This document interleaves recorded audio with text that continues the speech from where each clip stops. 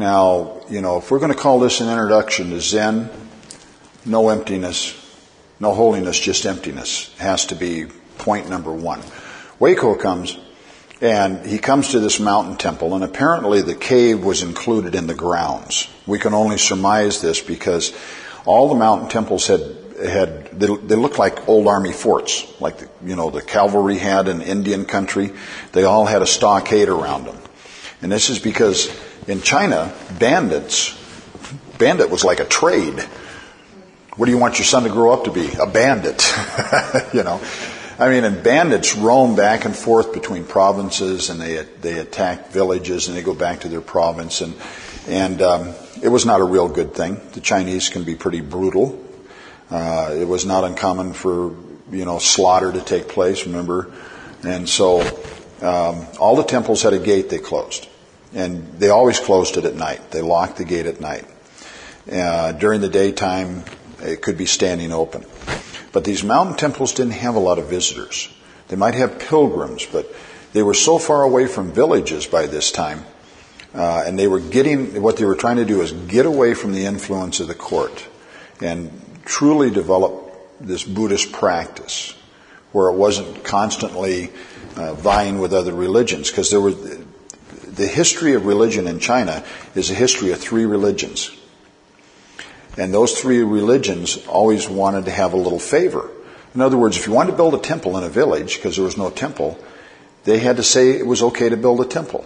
But the Taoists might say, wait a minute, you're letting them build too many temples. And if the Taoist advisor to the emperor had influence, then they didn't get to build it. So politics, almost from the beginning, existed in China with Buddhism.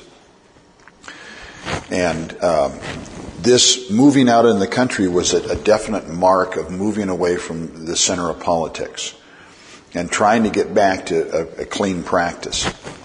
And so Bodhidharma is sitting up there behind a stockade, although he's not behind a stockade. He's, you know, in an area of the compound where there's a little cave and he's facing a wall. And we're told that he just basically didn't move. And he probably didn't any more than the Buddha did. You know, we know the Buddha got up and went relieved himself, and the Buddha got up and went and washed his face. But his primary practice was meditation. Now, this was a senior monk. This is a, a monk that everybody feels probably uh, was enlightened, but maybe he wasn't.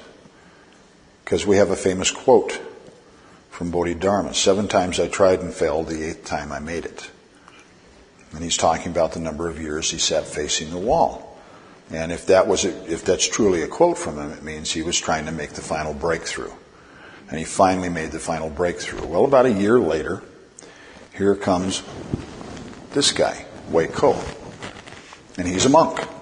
And he comes to the temple because he'd heard about this just extraordinary meditation master.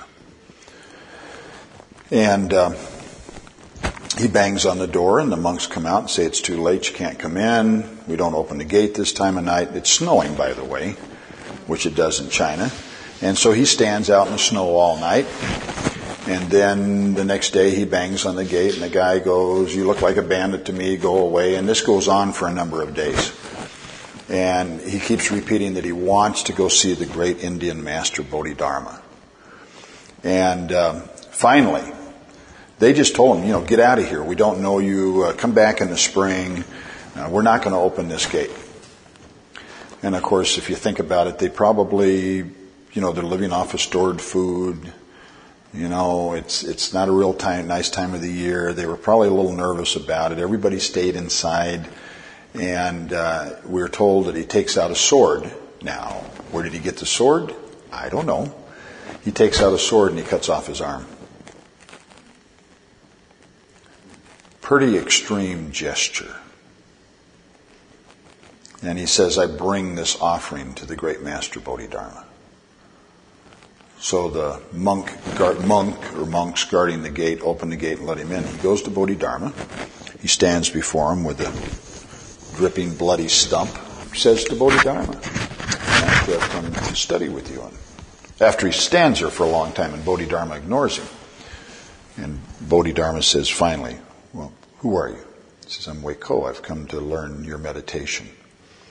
I've come for your advice. Bodhidharma looks at him and says, Well, you seem to have a certain amount of dedication. bloody stump. So he says, um, ask your question. And Huike says, I'm very good at meditation. I've been meditating many years. But no matter how hard I meditate, I can do many different forms of meditation. I cannot still my mind. The mind always seems to be on the move. And Bodhidharma said to him, Well, show me this mind. And Huike, now this is a guy that just cut his arm off, so this guy's not playing games.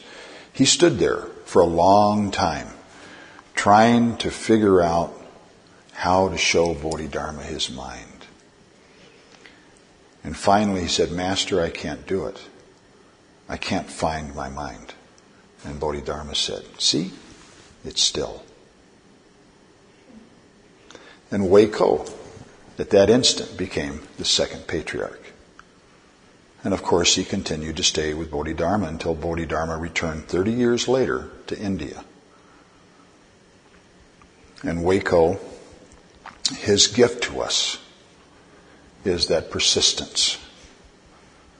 It's that vigor that we were talking about. In order to practice Zen and become awake, you have to be willing to throw everything away. Okay? He didn't bleed to death? No, well, you know, he didn't bleed to death. Yeah. Well, it's interesting, you know, for years I was a first aid instructor for the Red Cross, one of the many volunteers. And um, one of the controversies, ever since I was a little kid, uh, was uh, about the tourniquets, because I was a Boy Scout. And the thing I loved, uh, the troop I belonged in as a kid, they took the older kids and they had them teach the different areas, you know, the kids had to do. And I loved first aid. I just loved first aid. So I always, a couple of us got to teach first aid to the new kids. And um, you very seldom need a tourniquet with an amputation. Because it's when it's a real amputation, what usually happens is the blood vessels spasm and close up. Your body can take better care of it than you give it credit for. Where you need tourniquets is where you get big gashes, you know, where you, you get cut deeply and you haven't lost a limb. But for some reason, when the body, even if it's a finger or it's a foot or, you know, which is a horrible thing to have happen, but it tends to cut it off. But no, we have no, and, and I could see him reaching down and grabbing a sash and kind of wrapping it around the stump. But, um, he gives us that kind of persistence. And that persistence is not about, very often gets confused with material things. It's not about material things. Uh, the mere action that he did. It's not not that he was standing in the snow with simply the belongings he had on him. The thing was he was willing to injure himself. Not that anybody should do that, but it's an extreme thing. And, and many people argue that it's just an apocryphal story and it didn't really happen. And I've read it one time. Uh, and I think somebody who didn't agree with that wrote the story that what happened was he was trying to get in the gate and they were closing it and they broke his arm. And so then he went to, but see, that's Western sensibilities. Chinese can be real brutal. And I used to think that, oh, well, it's just a story. And then you, you find out that, you know, Chinese generals at the end of World War II, um, you know, the two sides, the communists and the republic were fighting. Either side, when they won a battle, they would go in and decapitate everybody in the town that resisted. Just like Genghis Khan. And then you start thinking, well, maybe this isn't that totally extreme, particularly for a primitive time, that someone that was that uh, driven to truly waken up would be willing to sacrifice a limb. Okay? I don't know.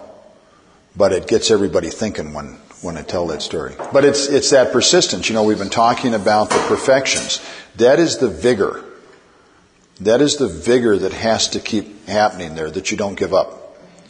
That you don't, and, and that you don't get discouraged. People think that a religious practice should always be revitalizing. See, that's what the Taoist idea was. If I go do uh, Tai Chi, if I do some special breathing exercise, if I do a period of meditation, I'll be revitalized.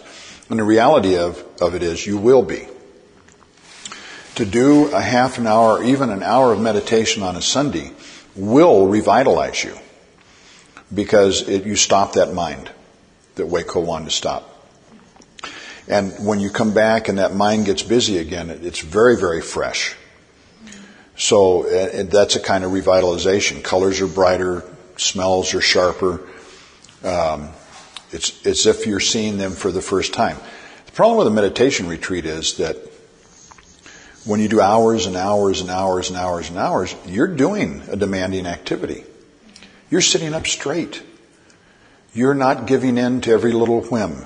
You know, you're not uh, wandering off to the refrigerator to get a carrot when you feel like a snack. Um, very often you're in an uncomfortable situation, not what people would usually think of, but you just don't have those little comforts. You can't sit down in your easy chair, you can't click the television on, or you can't, you know, you are in a foreign place. Even though it's your temple, you kind of got to be careful. It's like having guests all the time. And to do two or three days of that is to get tired. There's, you know, there's different kinds of tires. I used to take the greatest nap in the world when I'd get home from a retreat. Get up and ready to just conquer the world kind of thing. But sure, physically you're tired. You don't get a lot of sleep. Now we don't do retreats like that, but I used to go to these retreats where you're lucky if you got four hours sleep and you are beaten down and it's on purpose. Because when are you going to cut your arm off? When are you willing to just abandon everything that you believe. People are very fearful of that. It's, it's, it's a, a difficult point for them. Because if you give up everything you believe, then what's left? Yeah, where are you? Where'd you go? Well, it's an amazing thing. When you can actually give up everything that you believe, give up all the little props that you've used throughout your life that define who you are, when you do that, you're still there. But it's scary because people are worried. They're worried that they'll lose interest in the things they're interested in now. And they will. Some of them. You know, you'll lose interest in being petty. You'll lose interest in getting even with people. Boy, there is a waste of time.